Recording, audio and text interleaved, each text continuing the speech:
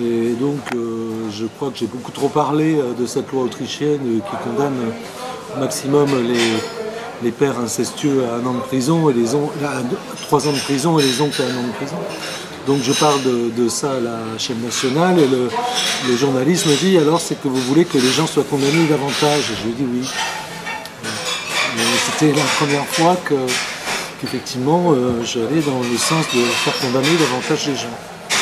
Mais disons, ce qui était drôle en, Autriche, c'était que euh, j'avais l'impression de tenir dans ma main le sort de l'Autriche. C'est-à-dire qu'on me reprochait des choses euh, comme si euh, j'allais vraiment avoir le pouvoir de, faire de l'Autriche des miettes. C'était curieux, on me disait, mais vous vous rendez pas compte que l'Autriche, il y a un grand tourisme, notamment à Vienne et tout. Regardez ce que vous dites de Vienne, vous dites qu'on dirait un décor d'opéra, etc. Et donc, euh, j'aurais dit, mais vous savez, j'ai pas écrit un, guide touristique sur l'Autriche. Euh, parce que je ne comprenais pas du tout pourquoi euh, ils avaient tellement peur de ce que moi, euh, obscur écrivain français complètement inconnu en Autriche jusqu'à ce livre, j'allais dire sur les monuments de Vienne. Étant donné que je ne suis pas un esthète, je ne passe pas pour un spécialiste de l'architecture, et que j'avais juste donné mon impression dans mon livre. Voilà, ça c'était assez curieux de euh, toute l'importance qu'on pouvait me prêter et, presque les pouvoirs dont on pouvait me supposer. C'est ça qui m'a le plus, euh, le plus amusé, mais disons que au bout d'un moment j'ai quand même euh, il m'a semblé que j'arrivais un peu à les, dérider un peu. C'est-à-dire à partir du moment où je leur ai quand même, j'ai quand même dit, je ne sais pas pourquoi ça, ça a un peu déridé les choses quand j'ai dit, euh, j'ai pas écrit un guide touristique. Donc je sais pas, a un peu décalé les choses et il y a eu euh, peut-être une certaine, euh, un, certain, un certain détachement par rapport à ce que, ce que j'ai dit. Mais il y a un problème, euh, c'est qu'à la conférence que j'ai faite, il y, des- y a des publics qui m'ont dit vous dites du mal de l'Autriche alors que c'est vraiment pas le problème. Ils disent alors qu'on a des gens très bien en Autriche comme Freud. Mais j'aurais dit oui, mais le problème c'est que Freud, euh, c'était sans doute quelqu'un de très bien, mais vous lui avez fait un sort euh, qui n'était pas quand même extraordinaire. Euh, Il y, a- aussi euh, Zweig, euh, ce genre de, personnes qui étaient juifs. Le problème, c'est que toute la, force de l'Autriche d'avant-guerre, qui est quand même là où il y avait toute l'intelligentsia de l'Europe, tous les artistes de l'Europe, tous ces gens-là étaient juifs. Donc maintenant, ils ont disparu. Ce qui ne veut pas dire qu'il n'y a plus rien en Autriche, mais je veux dire, le, problème dans l'histoire de l'Autriche, en ce qui concerne l'histoire intellectuelle, c'est qu'on tombe quand même toujours sur la, sur la Shoah. Euh, et là, c'est pas moi qui suis la chercher. Euh, c'est un, un fait. Ah là, j'ai pas eu de réponse. J'ai pas eu de réponse parce que je vous dirais que j'en cherchais pas, parce que euh, moi, j'étais pas là pour accabler. euh, je veux dire, j'ai parlé. Euh, alors, il y a quelque chose d'exaspérant, je pense, pour les Autrichiens, c'est qu'on leur parle toujours du nazisme. Ça, je reconnais que ça doit être absolument exaspérant, parce que, euh, surtout les Français, sans doute, euh, dès qu'en France on parle des Allemands ou, de- ou des Autrichiens encore pire, on parle tout de suite du nazisme. D'ailleurs, en France, il y, a, un principe dont je me rappelle le nom, c'est qu'au bout de 10 minutes, on fait allusion au nazisme ou alors à l'occupation en France. C'est, une manie française, ça, je reconnais. Mais euh, là, euh, très franchement, pour l'histoire de Friedel, euh, donc pour ce livre Claustria, je pense pas d'avoir fait un abus extraordinaire parce que justement, j'ai dégagé le fait que pour moi, Friedel n'était pas un nazi. Il n'y avait rien de nazi, même si, en revanche, l'Europe entière avait appuyé là-dessus, notamment les Anglais, les tabloïds anglais. Et moi, j'avais pas fait cette confusion parce qu'à mon avis, il n'avait aucune raison d'avoir une sympathie quelconque pour, pour, euh, pour Hitler. Tenu vraiment à part, la famille. Qu'elle était vraiment tenue à part des médias, et qu'elle était cachée. Donc, il semblerait qu'elle est toujours cachée. Euh, il semblerait qu'Elisabeth euh, n'écrit pas ses mémoires. Ce qui est curieux, vu l'offre qu'on qu'on a dit qu'on lui avait faite et qui était plausible de 6 millions de livres sterling. Qui était plausible. Donc euh, on se demande, de, doit avoir d'autres ressources. Parce que comme elle n'est pas en état de travailler, comme je pense personne de, cette famille n'est en état de le faire, euh, mais la, la famille ne s'exprime pas, contrairement à Campouche, qui s'exprime euh, beaucoup. La Chacha Campouche s'est exprimé beaucoup. Or, euh, merci beaucoup. Tandis que Elisabeth Frizzle ne sait pas exprimer, ses enfants non plus. pourquoi Ça, je, je Elle n'est pas obligée de le faire. Hein, obligée de le faire. Et donc, qu'est-ce qu'elle dirait C'est intéressant quand même de savoir ce qu'elle pourrait dire. Quel, quel, quel, récit elle pourrait donner, qu'elle n'est pas du tout obligée de faire, mais ce serait ça aurait un intérêt historique. Un intérêt historique parce que des gens enfermés 24 ans dans une cave sans le jour et, sans rien, avec des enfants qui vivent 19 ans, 18 ans et 5 ans, à ma connaissance, ça n'existe pas. mis à part le viol, mis à part l'inceste, euh, c'est une expérience humaine dont on n'a pas d'autres exemples. Même si elle était descendue avec son mari. Et ça, je mets à part le, côté criminel. Mhm. Si elle était descendue avec son mari, qu'elle ait eu euh, ses enfants dans, cet endroit, euh, l'intérêt serait le même. Là, on sort de, même de l'aspect, on sort de l'aspect criminel. C'est presque euh, il y, a, une, dimension, expérience euh, presque scientifique, euh, expérience scientifique dans l'histoire de, l'humain. On n'a pas, cette, pas de témoignage à ce sujet. Et là, on peut dire qu'on n'a pas grand-chose, malgré tout. On n'a pas grand-chose sur ces 24 années. Le côté scientifique, en quelque sorte. Ben, il y a le côté scientifique, il y a le côté... Ben, il y a tout, puisque on n'a jamais moi, je n'ai aucun exemple de ces faits et aucun récit là-dessus. Oui, on ne sait pas du tout ce qu'elle a pu euh, devenir, comment. Maintenant, après, euh, c'est quelque chose qui reste, euh, qui reste personnel, mais il y, a aussi des. c'est un peu énigmatique parce que le personnage qu'on nous donne d'Elisabeth Frizzell, d'une part, et qu'on nous donne d'autre part, n'est pas le même. C'est-à-dire qu'on a eu le personnage qu'on nous a donné euh, qui sortait euh, euh, de, ce, de cette cave avec, en ayant 40 ans mais en en paraissant 60, en ayant les cheveux complètement gris, le visage décomposé, etc. etc. Puis moi, il y a l'image dont un psychiatre m'avait parlé, qui, correspondait pas tout à fait à ça. Elle m'avait dit, elle était comme moi, elle était teinte, elle avait les cheveux teints. Et puis je sais plus, c'est pas elle qui me l'a dit, mais je sais plus qui me l'a dit, qu'il euh, y avait des lampes UV dans, le, la cave. Donc au niveau de l'aspect de, la personne, on n'a pas la même, la même description. Et comme on l'a pas vu, on n'a on a aucune on n'a aucune trace des choses. Maintenant, on n'est pas obligé d'en avoir. Hein. pas, je n'accuse personne de faire la rétention. Je dis simplement que voilà, on n'a pas euh, ce témoignage-là. Ce qui est étrange quand même, parce que quand on regarde dans le monde entier tout ce qui peut se passer, euh, toutes les situations les plus extrêmes, on a toujours des gens qui témoignent. Les mhm. victimes apparaissent toujours. Elles euh, témoignent toujours, assez rapidement d'ailleurs. Elles sont assez prolixes en détail. Mhm. Il y a peu de zones d'ombre ou du moins s'il y a des zones d'ombre, euh, elles ne sont pas données comme telles. Natacha Campouche est beaucoup exprimée. Ben, c'est-à-dire, euh, oui, il y a eu beaucoup de choses. Hein. Je crois qu'il y a une commission parlementaire qui dit qu'il y a une deuxième euh,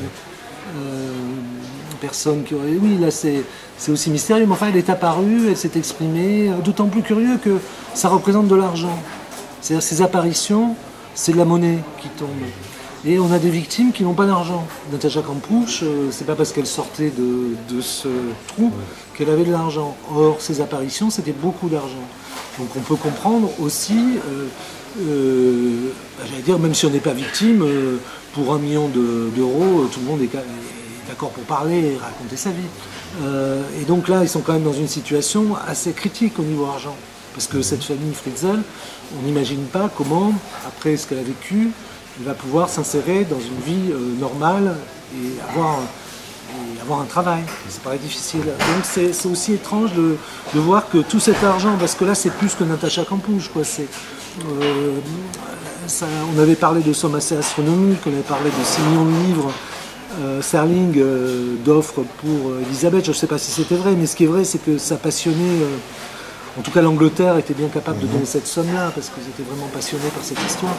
Donc là, on n'a pas de. Alors qu'on aurait toutes les raisons d'avoir des témoignages, on n'en a pas. Donc euh, voilà. Elle était assez calme, hein, après. Le public était assez. Euh, il n'était pas agressif pas du tout un public euh, qui m'a semblé du tout agressif. Mais un public qui était un peu catastrophé, je dirais. C'est ça qui est curieux.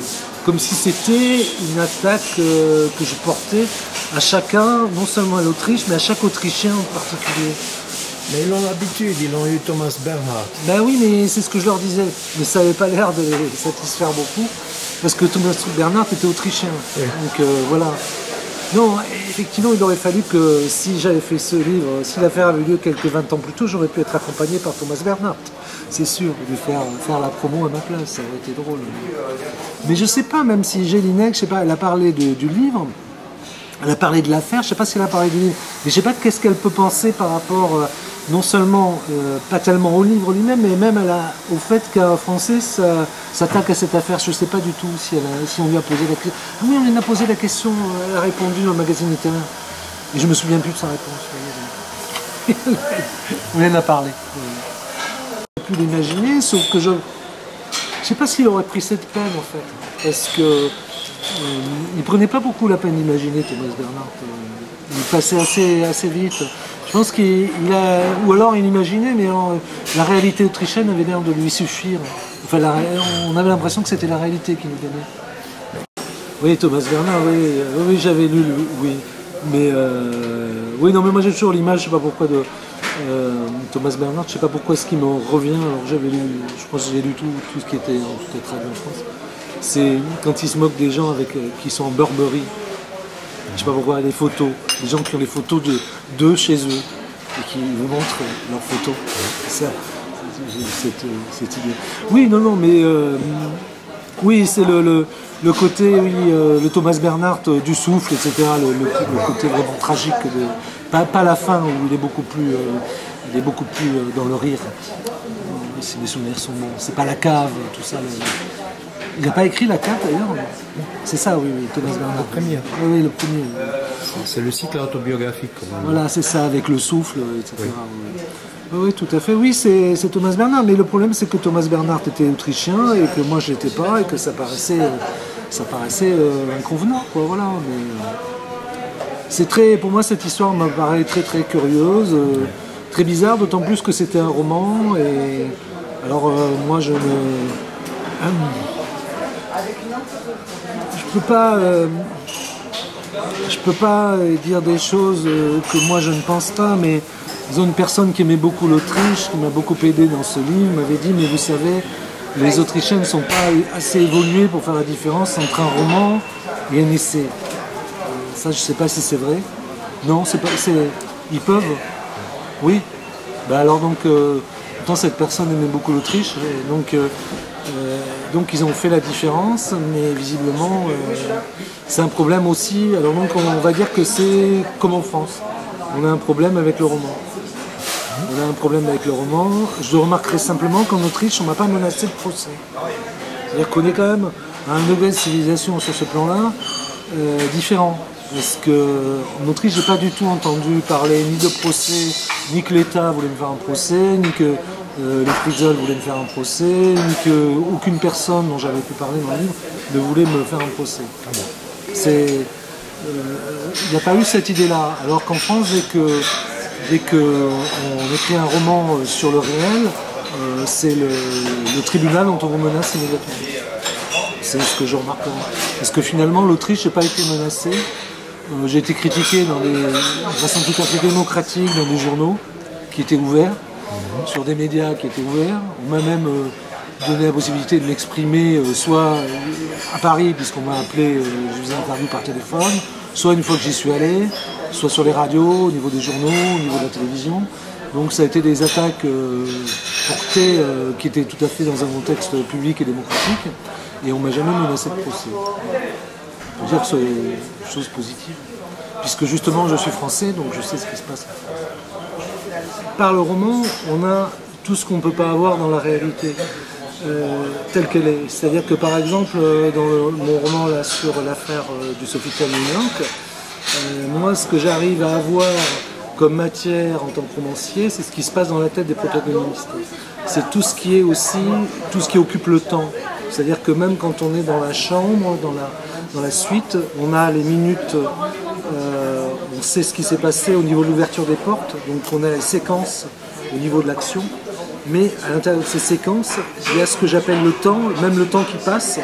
Le temps qui peut passer, par exemple, pour quelqu'un, euh, admettons même quelqu'un qui va rentrer, qui va traverser une pièce, et ça va durer, et qui va rester, admettons, dans une pièce pendant une minute, il ne va rien se passer. C'est là où la réalité augmentée apparaît. C'est-à-dire qu'il n'y a que le romancier, il n'y a que l'imaginaire qui peut dire ce qui s'est passé. C'est-à-dire qu'à partir du moment où il y a le temps, le temps, il n'y a que le roman qui peut le dire.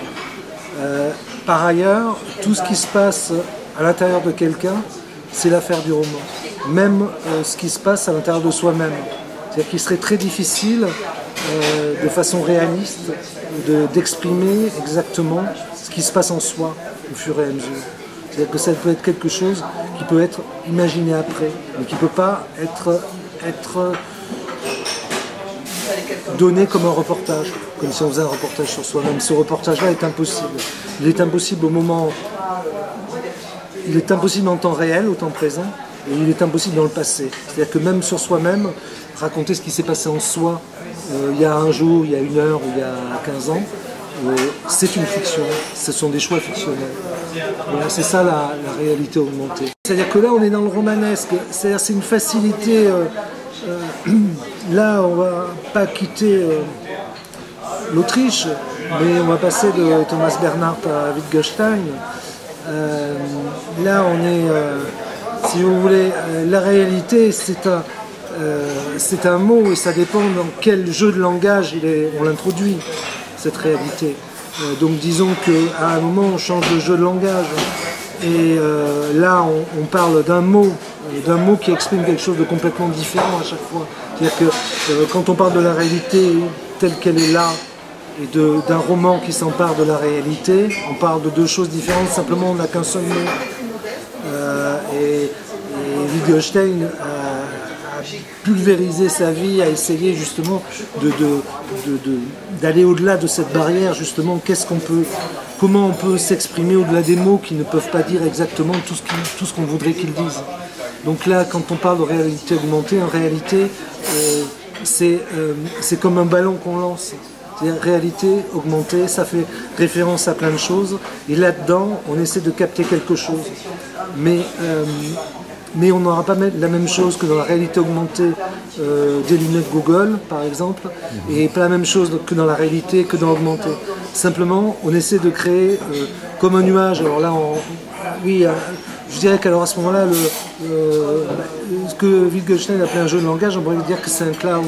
C'est-à-dire qu'avec ce, avec, cette proximité, ce voisinage de, de notions et de mots, on arrive finalement à créer un autre, mot, mais c'est à chaque fois qu'on crée un autre mot. Et euh, quand on parle de la réalité romanesque, euh, bah, il faudrait qu'il y ait un mot pour réalité romanesque. Et on n'en a pas.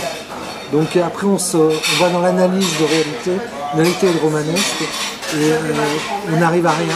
Parce qu'en fait, réalité romanesque, c'est quelque chose qui, qui, a à faire avec l'intuition, comme avec tous ces mots qui nous manquent.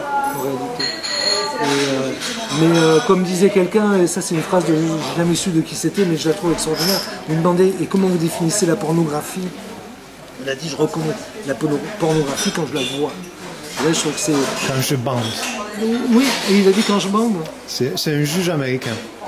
Ah d'accord, il y a une autre citation, c'est tu vois un juge américain. Je reconnais la pornographie quand, je, bande. Ah ben voilà, oui, ça c'est une. Euh, c'est une chose, mais même moi, euh, je me tiendrai même à l'autre définition quand je la vois. Parce que c'est vrai qu'il y a des choses qu'on reconnaît quand on voit. On les voit. À, quoi vous reconnaissez l'amour C'est quand je le ressens, quand je le vois. Voilà. Euh, quand donc on parlait de, réalité augmentée, voilà, mais en, tout cas, je ne sais pas si c'est la réalité augmentée ou quoi que ce soit, en tout cas ça dérange beaucoup en France. C'est-à-dire que quand le roman euh, n'a pas grand-chose à voir avec la réalité telle qu'on l'entend actuellement, de façon commune, euh, dérange personne en France. Mais alors dès que le roman s'attaque au réel, euh, là il dérange beaucoup. Ce qui est d'autant plus extravagant en France, c'est qu'on passe son temps en France à c'est même pas l'autoflagellation des écrivains, c'est la flagellation des écrivains.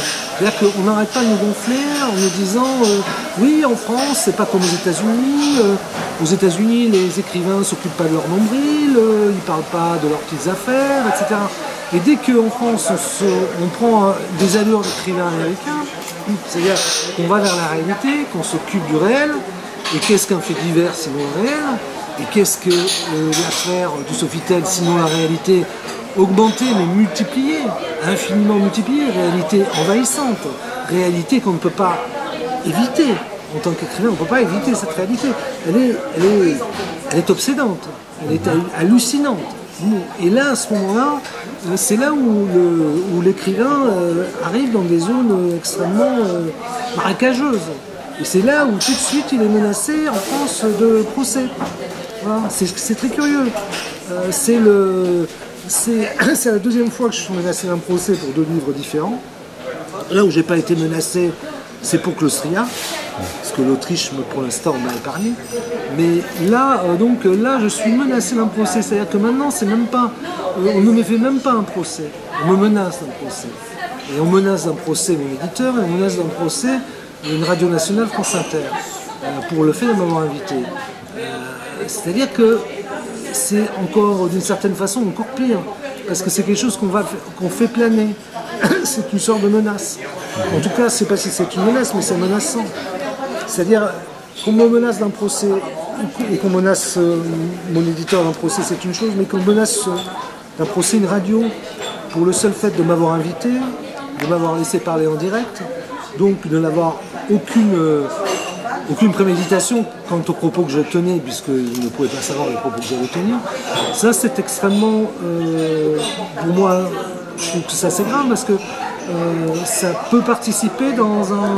ça peut aller dans le sens d'une intimidation d'autres médias qui pourraient se trouver gênés d'un. C'est une censure.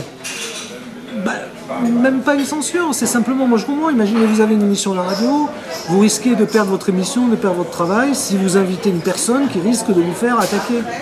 En plus, il y a des radios qui n'ont pas forcément les moyens d'être euh, attaquées, ça coûte très cher d'être attaqué, il y a les frais d'avocat, les indemnités qu'on peut vous demander. Et puis euh, tout simplement, c'est pas le rôle des radios et des télévisions euh, d'essuyer des, procès. D'autant plus que les droits de l'homme ne sont pas en danger. C'est-à-dire que là, si j'étais quelqu'un qui était porteur d'une parole libératrice pour l'Afrique, euh, dénonçant une guerre occulte euh, ou des crimes contre l'humanité, je pense que ça vaudrait de la peine pour tous les médias de m'inviter quand même, de dire on invite quand même. Là, je vois pas la nécessité à partir du moment où il y a un risque pour une affaire dont finalement on a beaucoup parlé, un livre, le mien, dont on a beaucoup parlé également. Je ne peux pas du tout dire qu'on n'en a pas parlé, de très grandes émissions avec des, des audiences écrasantes m'ont reçu, des, journaux, etc. m'ont parlé, etc. Donc euh, l'enjeu n'est pas bien grand. Et donc dans cette optique-là, ça fonctionne très bien. Parce qu'effectivement, euh, pourquoi aller mettre en jeu son émission? Pourquoi aller chercher un procès quand on a un journal? Euh, C'est mieux de parler d'autre chose que de parler de mon livre. Donc je pense que c'est très efficace. Moi, ce que j'ai le droit de dire, c'est que je pense que Nafissatou Diallo est innocente. C'est-à-dire que je pense qu'elle n'est pas coupable de ce crime qui aurait constitué un faux témoignage susceptible d'envoyer Denis Strauss-Kahn en prison à vie, c'est-à-dire pour 70 ans en prison, c'est-à-dire euh, la perpétuité réelle. Ça, je pense que ça aurait été un crime euh, extrêmement grave, euh, ce faux témoignage, et je pense que Nafissatou Diallo est innocente. Voilà ce que je pense de la chose. alors, ce qu'on peut après dire de l'affaire. Alors, si on enlève, enlevons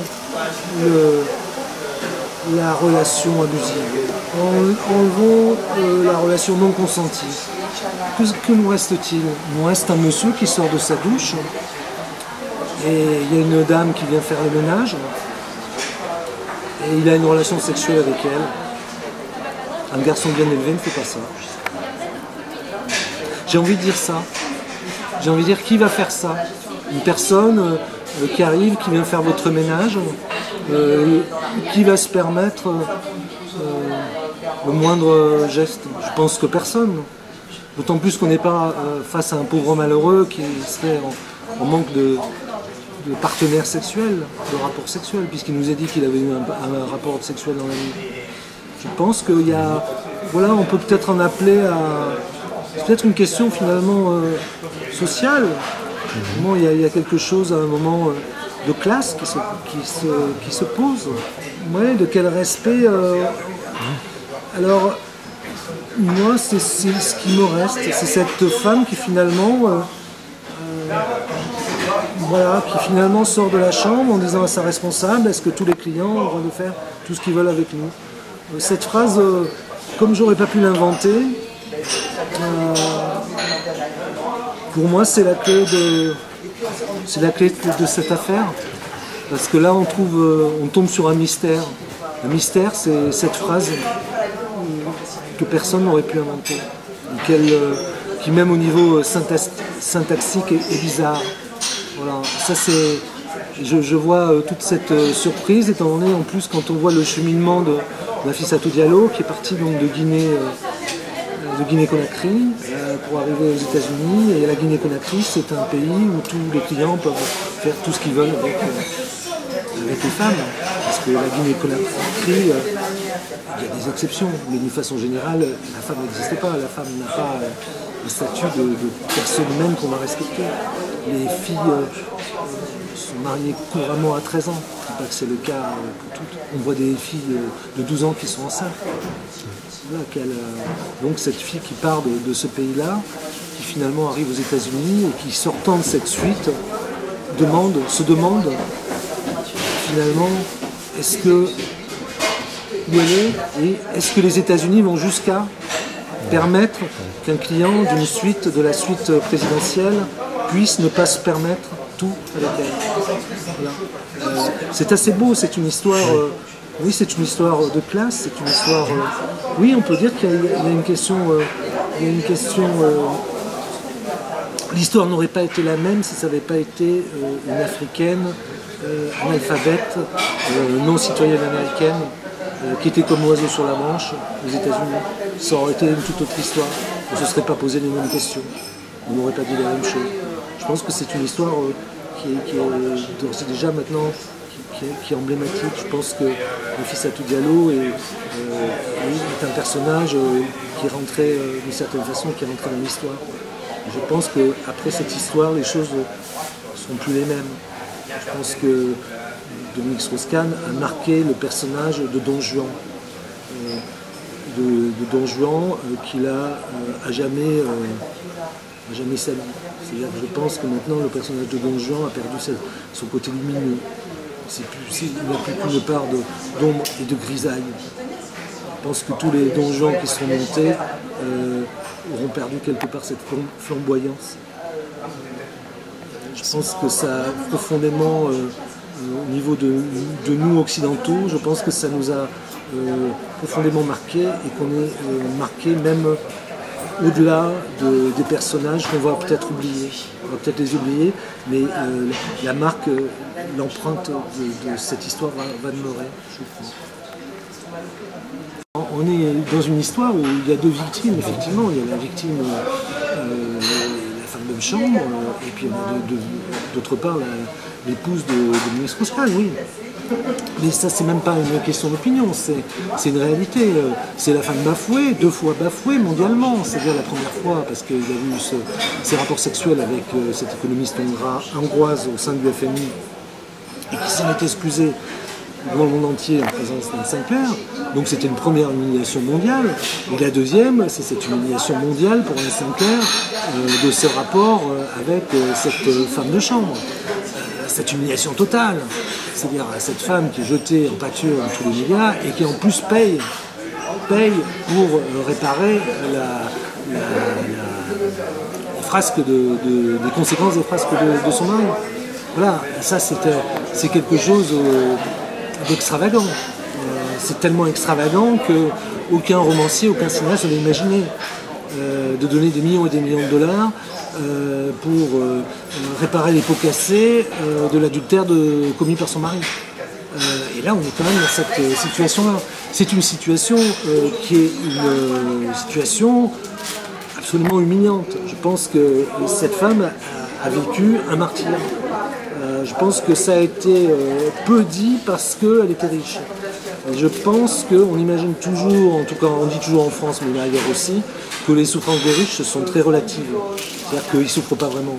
Moi je pense qu'il y a eu cette, cette souffrance extraordinaire, cette espèce de, oui, moi j'ai pas d'autre mot que chemin de croix, c'est des images bon, euh, religieuses, on fait ce qu'on veut, mais cette sortie euh, du tribunal euh, entre sa belle-fille et ce garde du corps qui la tient, elle n'a même pas les pieds sur terre. Oui, ça a un côté, on a un côté Golgotha, oui. oui je, trouvais, je trouvais que cette femme était, elle était poussée au martyr. C'est- pas un martyr volontaire, c'est quelque chose qu'elle ne pouvait pas éviter. Et euh, là, elle était dans une situation, effectivement, euh, euh, je pense qu'en même temps c'est assez injuste parce que cette femme finalement qui a fait beaucoup de choses dans sa vie, notamment avant de le connaître, elle a fait plus de choses dans sa vie avant de le connaître qu'après d'ailleurs, ben, ce qui va rester d'elle c'est cette image. C'est-à-dire que c'est pas, va pas rester d'elle ce qu'elle a fait de sa vie elle-même, volontairement, mais ce qu'elle en a subi. Cette espèce de, de- oui, cette femme qui, subit mais qui, qui est portée. Enfin, je veux dire, euh, tout le monde peut aller voir euh, ça sur, sur internet. Cette, cette- cette- cette femme avec ce sourire, euh, on dirait qu'elle est derrière le sourire et qu'elle est derrière son corps et qu'on transporte un sourire et un corps et qu'elle elle est derrière elle est, elle est sacrifiée derrière. Voilà. Et, et elle, a, elle a, au niveau mondial, l'empreinte qu'elle va laisser, c'est cette image. Et c'est injuste. C'est injuste. Je pense que cette histoire, euh, euh, ces deux destins de femmes qui, ont rencontré, euh, qui ont rencontré le malheur. Satou Diallo n'a- n'apparaît pas. Et, je pense que Strauss-Kahn, Dominique ne parle pas non plus de l'affaire. Je pense qu'on peut imaginer que c'est un accord qu'ils ont signé entre, eux- ça, me paraît beaucoup moins mystérieux que, pour l'affaire euh, Friedel avec Elisabeth Friedel. D'autant plus qu'ils se, sont, se sont exprimés quand même tous les deux. C'est-à-dire que Nafissatou Diallo euh, s'est largement exprimée sur l'affaire. Elle a à peu près dit tout ce qu'elle pouvait dire, visiblement. Donc, euh, Dominique Strauss-Kahn s'est exprimé sur l'affaire pour dire qu'il ne s'exprimerait pas euh, sur l'affaire. Puisque je crois qu'il n'a jamais dit exactement, il n'a jamais donné sa version de ce qui s'était passé dans la suite, sauf à dire que c'était consentant. Voilà. Donc ils ont tous les deux parlé euh, sur l'affaire. Bon, maintenant, à mon avis, ils ont un accord pour ne plus en parler, mais ils en ont parlé. Euh, Elisabeth Friedel a peu parlé.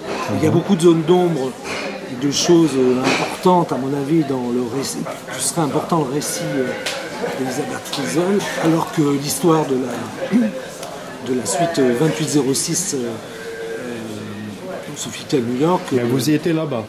oui, je suis allé là-bas, j'ai pas pu visiter la chambre. Mais Pas voulu me l'étage, oui.